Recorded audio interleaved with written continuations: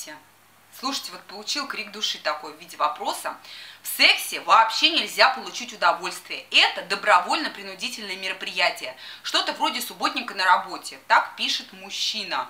Вот, довольно странное письмо. Обычно так женщины пишут, особенно умудренные опытом семейной жизни. Вот, и очень многие женщины, которые много лет прожили в браке, там не 2, не 3, не 5, а 10, 15, то есть и больше, то есть такие бывалые жены, тертые, да, они а, говорят, ой, этот секс, опять одно и то же, вот что борщ варить, настраиваешься на дело, что уборку делать, тоже прям настраиваешься на мероприятие, потом хоть Фу, целую неделю можно не убирать. Вот так и секс тоже, совместный домашний труд. Собрались, потрудились, получили результат. Вроде галку поставили, и можно больше к этому не возвращаться в течение какого-то времени. Такое я слышала от женщин, вот, но не слышала от мужчин. У меня попадались, я говорила в ролике, когда муж не хочет свою жену, что есть такие мужчины редкостные, которые не хотят свою жену по каким-то причинам, но от природы, возможно, они асексуальны или зажаты очень в своих комплексах, или выросли в такой семье, где все эмоциональные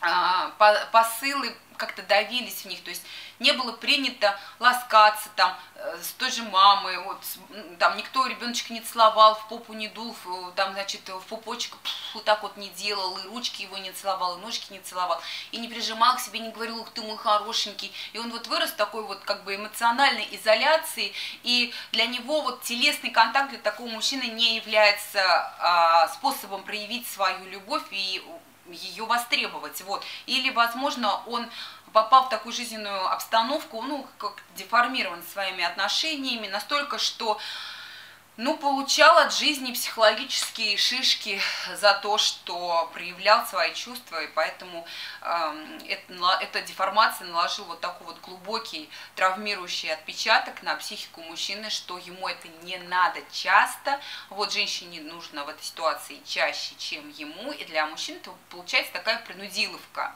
вот. Но в таком случае я всегда говорю, что есть такое понятие, как супружеский долг. Раньше вот все проще было. Супружеская жизнь регулировалась церковью и постами. То есть в пост нельзя, а постов там 270 дней в году.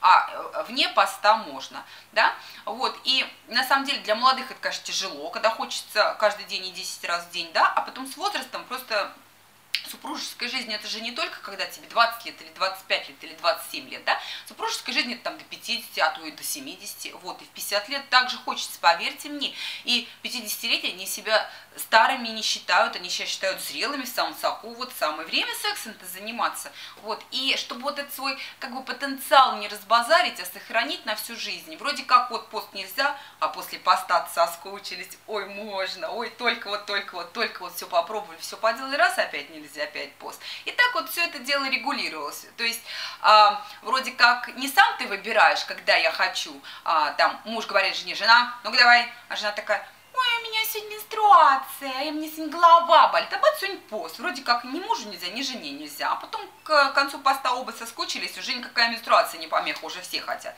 И то же самое в, обратную, ну, в обратном направлении, и для мужа тоже, только жена такая на него, куда пошел, а кунилингус, а муж такой, пост, у нас пост, вот, в этом смысле э, регулировалось. И с другой стороны, есть такое понятие супружеского долга. То есть брак э, совершается для того, чтобы человек все свои беды и печали, горести, радость, счастье, несчастье, болезни, нужду, здоровье, все делил со своим супругом. И, в общем, зачем мне нужно искать приключения на свою голову или на свою головку, где-то на стороне, когда у меня под боком есть родная жена или родной муж, да, когда я могу все свои потребности справить с ним, с любимым человеком, с одной стороны. А с другой стороны, я не хочу не с любимым, меня вырвет вообще, если какой-то чужой вонючий дядька или тетка будет там ко мне как-то там приставать и липнуть. Зачем, зачем, зачем? Вот у меня хороший, любимый, я, я все его местечки знаю, он мои тоже. Вот мы сейчас с ним там эту симфонию забабашим. Вот. И а, с этой точки зрения тема супружеского долга тоже носит такой охранительный режим.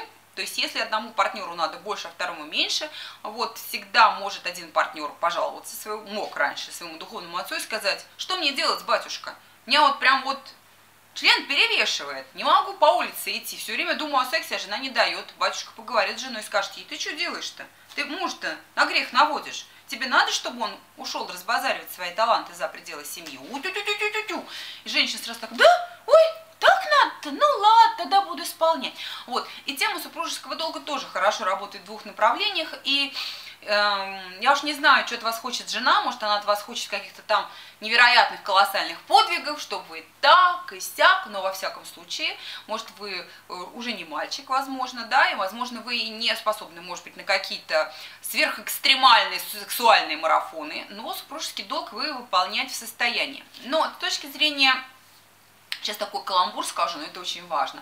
С точки зрения физиологии, это очень нравственно исполнять супружеский долг.